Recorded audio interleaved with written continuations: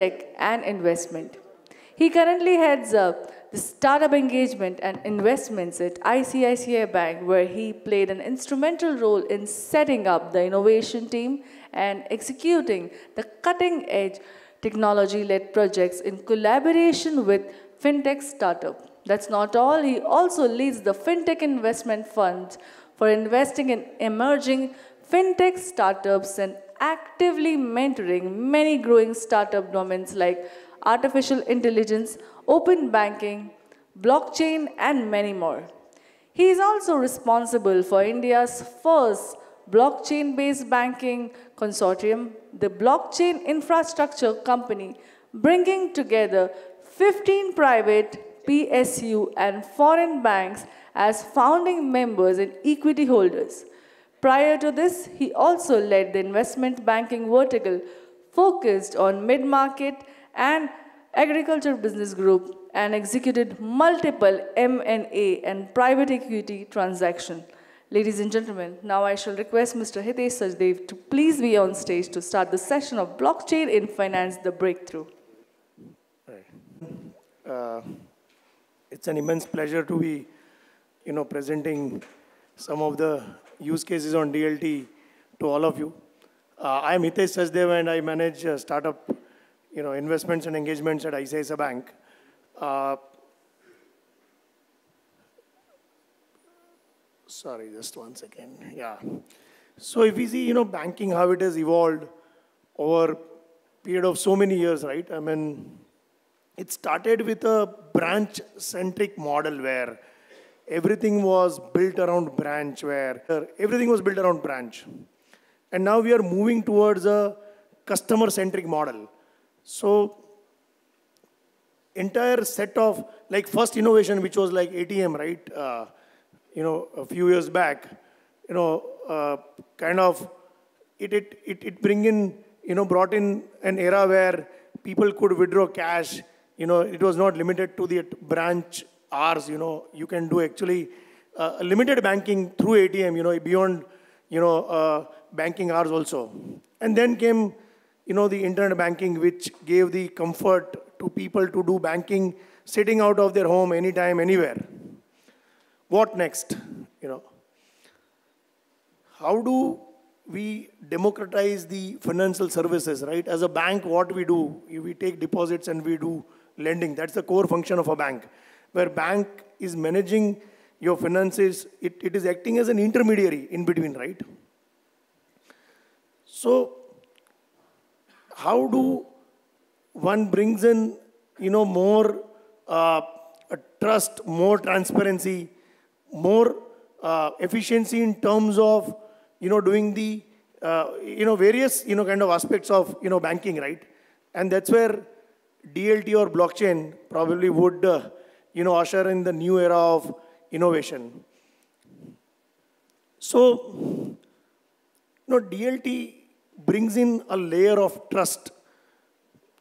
When there are, you know, multiple parties involved, uh, you know, you need to know what is the source of truth. You know, a single kind of source of truth, a layer of trust, and impeccable transparency.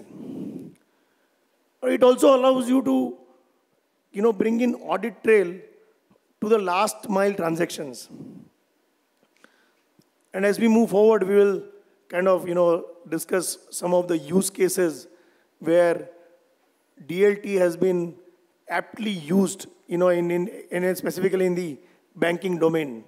Uh, so let me talk about the first use case, you know, which is trade finance.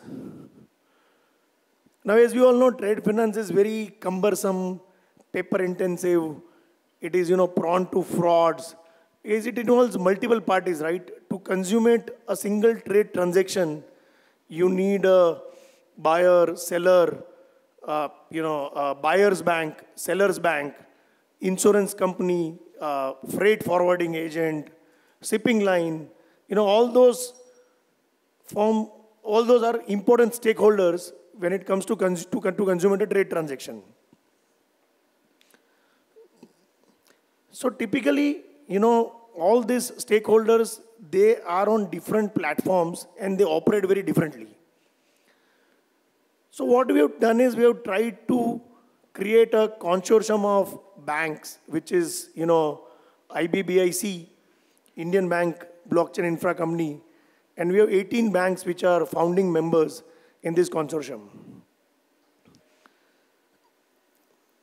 We all have come together to create a trade finance ecosystem, which is a self-fulfilling ecosystem for trade. In this platform, we have brought in all the banks. We are trying to onboard, you know, the buyers, sellers, exporters, importers, shipping companies, insurance companies, you know, freight forwarders, all of them on one single platform. So typically, let's take an example of a, let's say, letter of credit, right?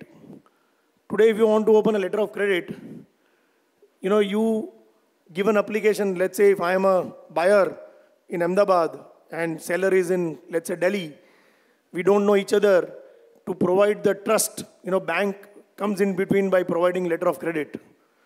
So buyer approaches the buyer's bank, you know, and gives an application for issuing the letter of credit to the seller's bank, which will advise the seller that, hey, we have got the letter of credit and now you can actually, you know, transport the goods. And then transportation documents are kind of, you know, uh, exchanged between the banks. So if you typically, you know, examine the entire transaction, right from the opening of LC till the time, you know, you discount it and bills under LC and all those stuff, it takes anywhere between 8 to 10 days, you know how do we bring all the stakeholders on this single platform where the information is available real time to all the stakeholders and there is a intermediary like IBBIC which is a trust provider. In some of the use cases, you may find that we may not need an advising bank also because you know the buyer, seller, everybody is on the same platform. Is there a need for an advising bank. Actually, issuing bank can directly, you know, advise an LC to the seller. So this can bring down the time taken of, you know, right from issuance to the discounting of 8 to 10 days to, you know, less than two days.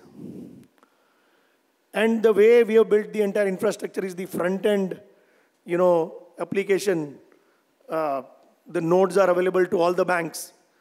And we have created a layer of DLT on the backend database, you know, which is provided by R3 Corda. It provides end-to-end, you know, audit trail of all the transactions on the platform and all the nodes on the platform. They get, and then obviously with the privilege rights, you know, it's a private consensus based, you know, DLT, uh, you know, framework. So all the, all the nodes on the platform, they get to see, you know, what they need to see, right? So this is one of the, you know, initial use case which, you know, which is taken off. And we believe that, you know, uh, this can actually bring in the entire turnaround time for LC issuance and LC, you know, discounting. Couple of the other use cases are, you know, again, if we see till 2014, you know, 84% of the transactions were, you know, open account transactions. And 2018-19, it went up to 88%. So what does it mean that, you know, customers are actually moving away from the bank for their trade requirement? So obviously one of the reason is the cost involved. But the other reasons are that, you know, there is a lot of efficiency issues. You know, people are wanting to do a trade and they want to avail the LCs, BGs immediately. You know, some are, sometimes the turnaround times are so high that you know customers lose on business opportunities, right? So this will somehow solve some of those problems. And uh, you know, uh, as I mentioned, you know there are various benefits, right? You, you're able to digitize the entire trade, right? And many times we have been, since last so many years we've been asking documents without even knowing the reason why we are asking those documents, right? So for example, let's say purchase order, PO. Now, what is the significance of PO? Why PO is required? Why pro forma invoice is required?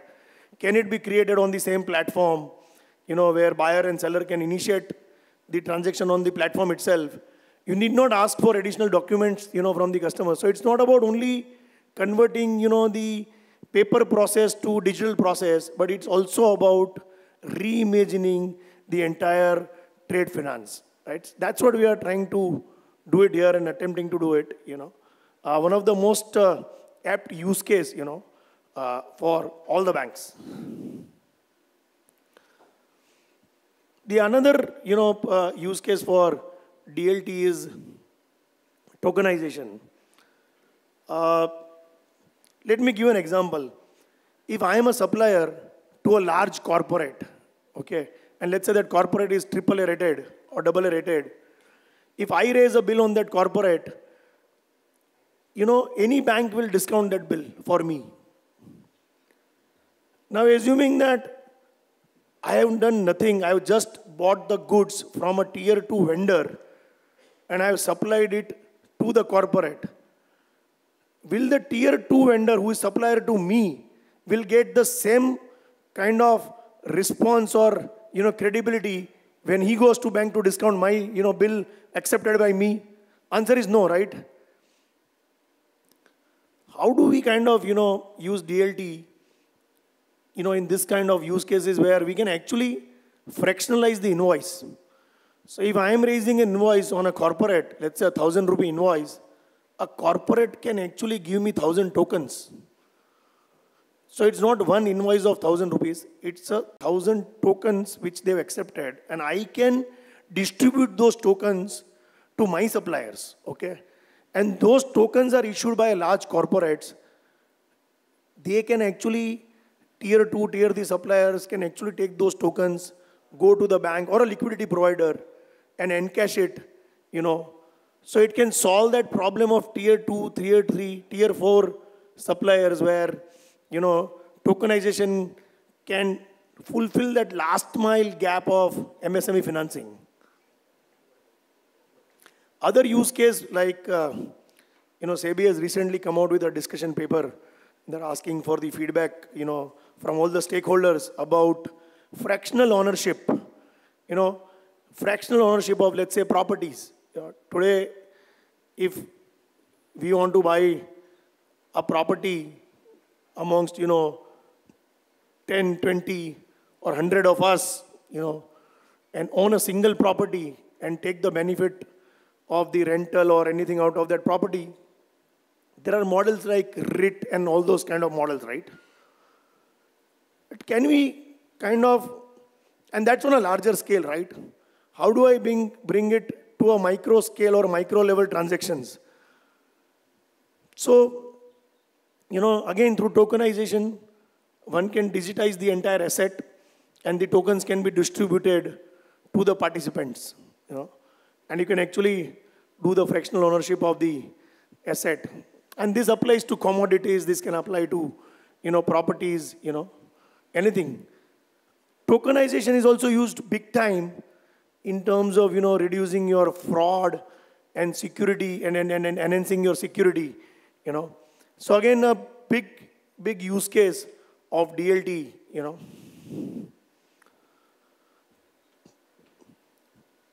syndicated loans is you know kind of uh, uh, an area where multiple banks you know come and form a consortium and you know give a large and take a large exposure on a single borrower so the way it works is that, you know, lead bank does the assessment, lead banks, you know, they uh, do the credit appraisal, and then they kind of invite the member banks to take, you know, a portion of the exposure which the lead bank has, you know, done the assessment for the borrower. Now, if you see this process, it is done in a very traditional fashion where a lot of documents are exchanged, you know, and once the loan is disbursed, after the disbursement, the entire monitoring, monitoring of the loan account is also done like, you know, in a very traditional fashion where lead bank gets all the data and then they exchange. Rather than that, if we kind of, you know, create, you know, a platform through DLT where we bring all the consortium members together and, you know, a single kind of an appraisal, you know, format which is available on the platform, which every bank can use it and decide what exposure they want to take. And after taking the exposure, they can also look at the monitoring reports, you know, what kind of, uh, what is the health of the borrower. All those can be kind of, you know, done independently without, you know, depend, without creating any dependence on the lead bank. It brings more transparency, more efficiency in managing the, you know, loans through consortium.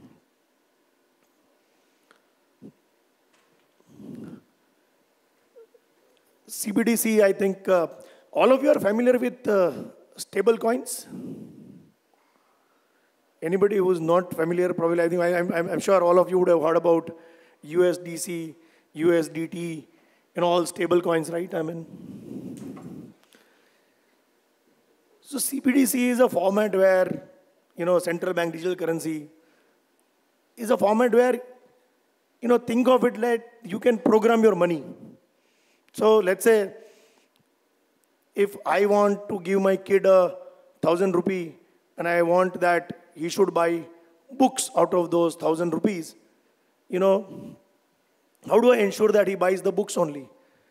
He can go with that thousand rupee to any shop and buy chocolates or whatever he wants to buy, right? I have no control. Can I program my money that this money is valid only for buying books? Can I do that? That is what, you know, DLT can do for us, where you can program the money for the end use. So today government gives a lot of subsidies, grants, right? And we keep reading in newspapers that it has not reached last mile or it is misused and you know. But what if we program that, you know, subsidy, what, what if we program that grant? If I give a thousand rupee to a farmer to buy fertilizer, how do I ensure that he will buy fertilizer only? So I will issue that thousand rupee to a farmer which can be encashed only to buy fertilizers. That money has no other use. That money will work only at fertilizer shops. That's the only end use, right? So a lot of you know, stuff can be built, you know, using the CBDC framework. And it also ensures that where many people feel that, you know, uh, I, I will keep cash at my home, right?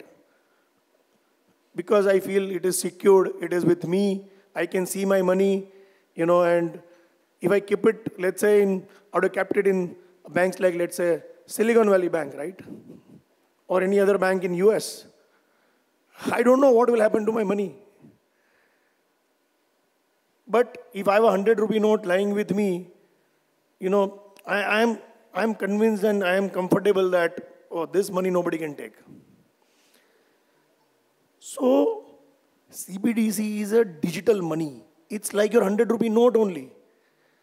You know, today, when you deposit that money with the bank, the money doesn't belong to the bank. It's your money. And it will open up a lot of use cases, you know, as we move forward. But this will bring in a different kind of revolution in terms of managing your money. Now I'll come to the last use case. You know, there are many more we can discuss, but with a, we have limited time. So, you know, metaverse.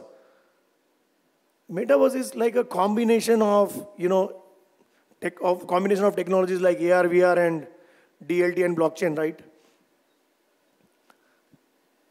How do we? It's a word. It's a word. Meta means you know, it's a Greek word. It means you know beyond or transcend. So it will change entirely the way we communicate, we engage. Today, when I open up a mobile app, you know, and I do my transaction on my mobile app, it's a two-way communication. It's 2D, right? Where there is no personal interaction with any bank officer. I am doing my transaction on my mobile app. Now imagine, you know, that you actually sitting at your home, you are in the branch, you know, you're an environment of a branch, talking to you your branch manager, right? So that's the kind of way it will change the way we do banking, way we interact, you know. It would give you an experience of 3D and not 2D, right? Where the communication layer will be very different. So you can actually provide comfort to your you know, customers that, hey, sitting at your home, just putting a VR glass, you can be in a branch, communicate with any of our branch managers, you know, as if you are in real world communicating to our branch managers. Similarly, people, you know, when they buy properties, they have to look around for many options and then they decide. It's a very cumbersome process.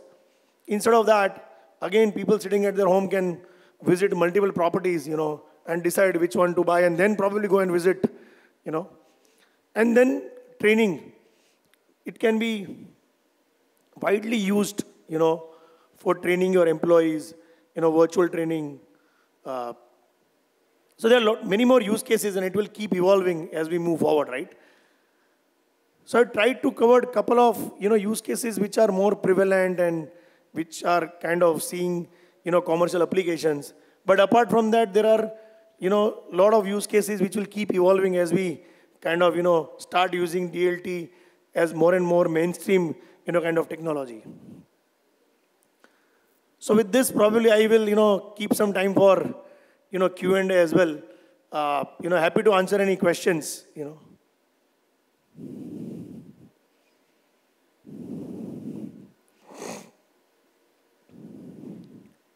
I think gentleman at the back can provide the mic there. Oh, you can ask. Yeah, yeah.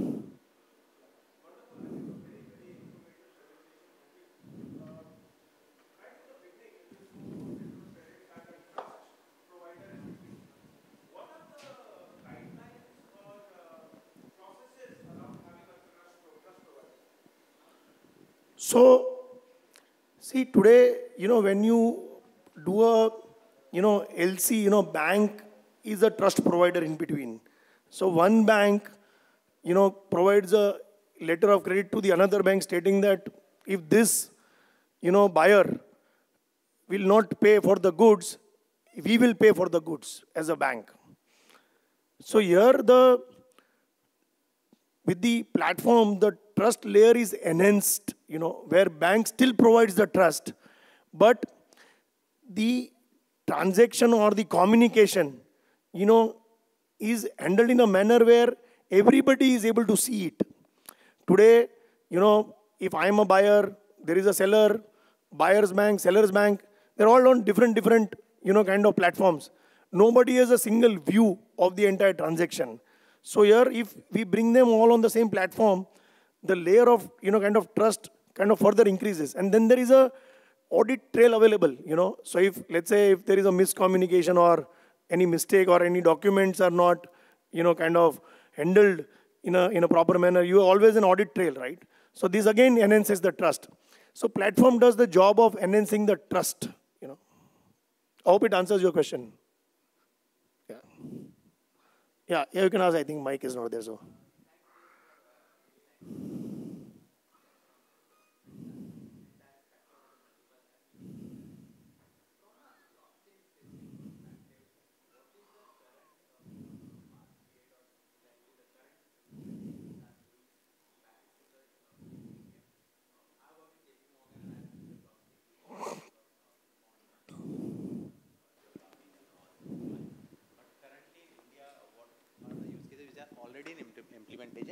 And what is the timeline you see from a future perspective where the blockchain can move more from even corporate to the retail kind of uh, uh, solutions? Yeah.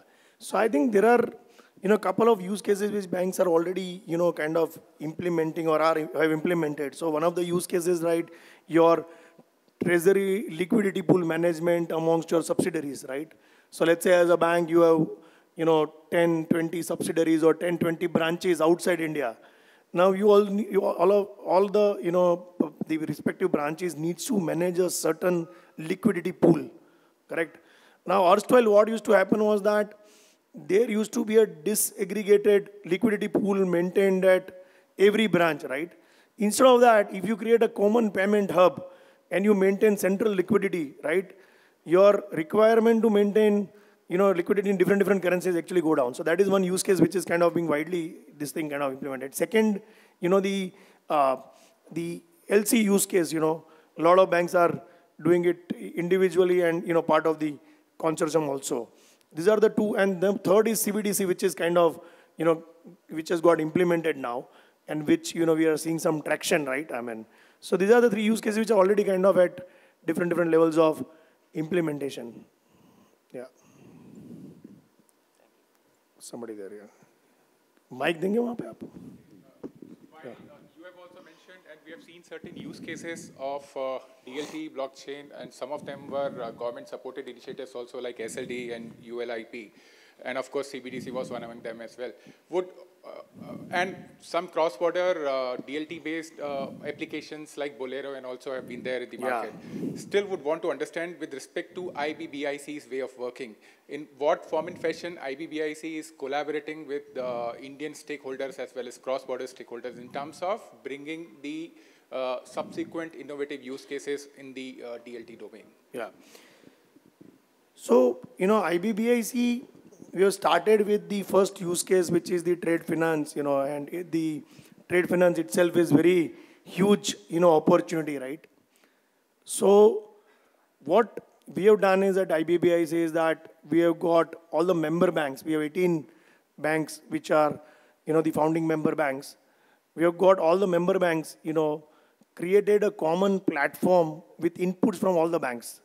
And we are plugging in all these banks into this single platform. So this is the first use case where the entire trade finance would be digitized and IBBIC will become a kind of a central, uh, you know, uh, uh, kind of entity to manage all the communication, right? Today, what Swift does, Swift does, you know, the communication part of it, right? IBBIC would be communication plus plus.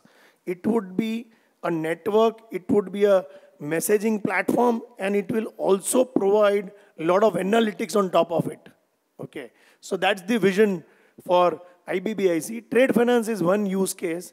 We're looking at a lot of other use cases in IBBIC, right? So, uh, but obviously we will begin with, you know, the trade finance because, you know, it, it itself is a very mammoth and very huge. So first use case is IB, you know, in, in IBBIC is trade finance.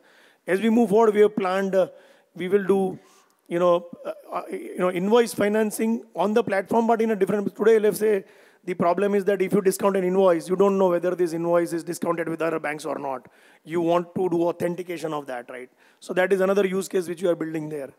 Third use case is at some point in time we'll also build, you know, digital lending, you know, because we feel that there is a lot of scope there. When I when I talked about the, you know, uh, tier three, tier four MSME financing, right? That is another use case which you are kind of thinking of building. But we don't want to rush into everything. We'll take one at a time because, you know, anything you take up, we should actually thoroughly, you know, implement it and reap the benefits and rather than getting distracted into multiple things, you know. So that's the plan and you know, kind of as of now. And we have kind of, we've got the team now to manage this entire, you know, operations of IBBIC. And um, I think we're getting support from all the banks. So it's working in the right direction.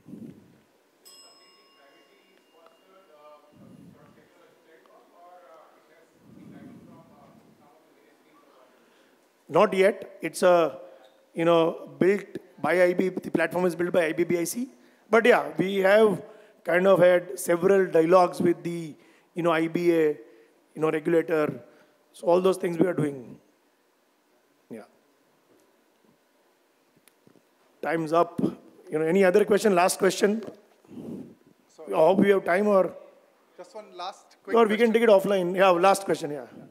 So there are these immense use cases that you spoke about around DLT, but uh, the other side of it is the adoption to it, right? So what do you see are the biggest challenges that are sort of restricting the adoption of DLT uh, at, a, at a process level maybe across the organizations and how to overcome some of those challenges maybe? No, fantastic question. Very good question. See, today, if you see that, let's say UPI kind of, right? The way it works and the number of volume and number of transactions, right? So per second, you hit multiple transactions, right? DLT had that limitation in terms of how many transactions you can process because, you know, it's every time you create a hash, you create a block, you know, it takes its own time. But what people have done is that they are layer one protocols, right? For example, Ethereum is a layer one protocol. Polygon, what they've done is they've kind of created a fork out of it, removed all the limitations of Ethereum in terms of the, you know, the transaction processing and other limitations, and have created, you know, a, a layer on top of it, which is layer two, which again, you know, kind of facilitates, you know, the speed, large volumes of transactions, right? So I think one, you know, is the uh, people kind of thought about that it may not be able to handle large amount of transactions and at a speed, which in a way it is getting addressed. That was one limitation. Second is the, you know, knowledge about, you know, DLT, right? Many of the banks or institutions are still not, you know, kind of up the cow when it comes to kind of DLT. And third is it requires, you know, many more stakeholders. When you implement DLT, it's not about, you know, bilateral, you know. So when you get all the stakeholders together, it is very difficult to align stakeholders. And it takes time. Like for example, IBBIC, we got 18 banks.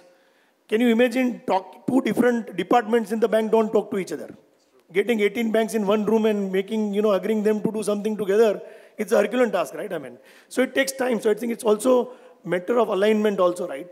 So these are some of the limitations, but I think over a period of time, we see that once people start seeing the benefits, you know, that alignment will automatically start, you know, kind of happening. So, yeah. Thank you. Yeah, thank you very much. Uh, you've been all been awesome audience, you know. Thank you. I'm available for any offline questions as well. Yeah, thank you. Thank you so much, and uh, I think let's thank him for the, such a valuable guidance. Can we have a huge round of applause? And I'm sure most of the answer questions was also answered.